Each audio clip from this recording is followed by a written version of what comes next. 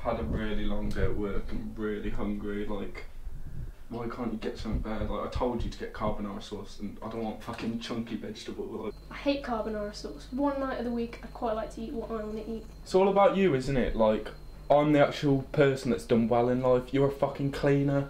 I want to come home and eat what I want. Well, when's the last time you thought about me? When's the last time you did anything I wanted to do? When was the last time you actually knew what you were doing in your life? You know I do a lot more than you think, and I'm sick of you not appreciating me. Stick your vegetables up your ass. I'm going to work.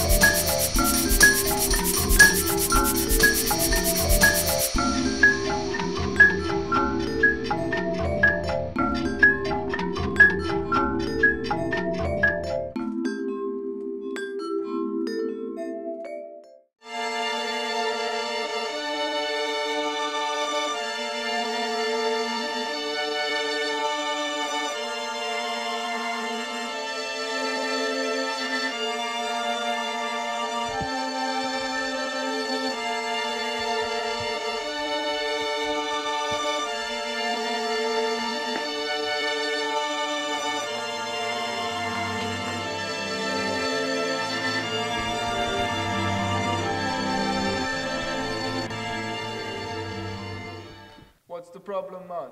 What am I doing here? I heard you got some rubbish. My life is filled with misery. I need to change. Take a leaf out of my book, man. You need to worry about the rubbish, or the rubbish will take out you.